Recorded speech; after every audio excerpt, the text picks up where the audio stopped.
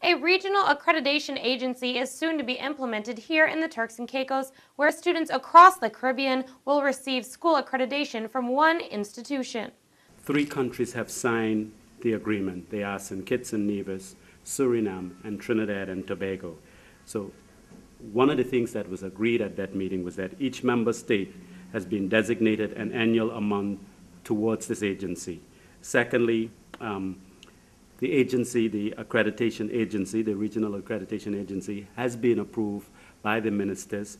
The regional agency will comprise of five different positions that will all contribute to the management of the agency.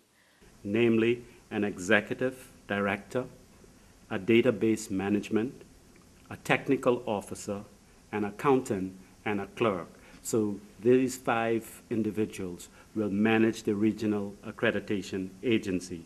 The purpose of this agency is to provide one institution for the entire Caribbean region instead of separate ones for each country. As it stands now, there are Caribbean territories like Jamaica, for example, which has the University Council.